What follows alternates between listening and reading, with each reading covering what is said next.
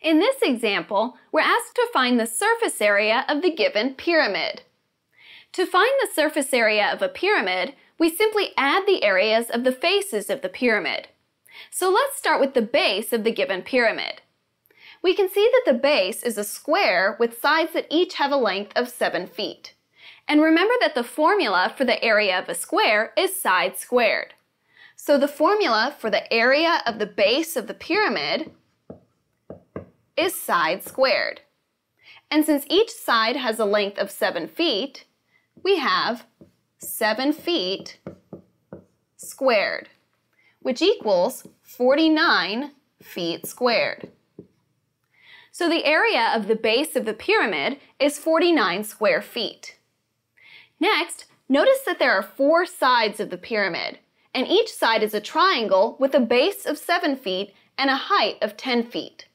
And remember that the formula for the area of a triangle is 1 half base times height. So the formula for the area of each side of the pyramid is 1 half base times height.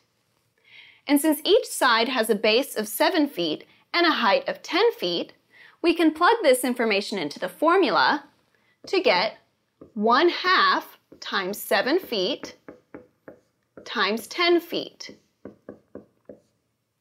7 feet times 10 feet is 70 feet squared, and 1 half times 70 feet squared is 35 feet squared. So the area of each side of the pyramid is 35 square feet. Therefore, the area of all four sides of the pyramid is 4 times 35 square feet, which equals 140 square feet.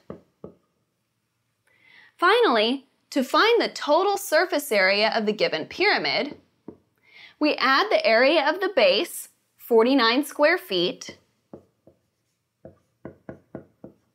plus the area of all four sides of the pyramid, 140 square feet.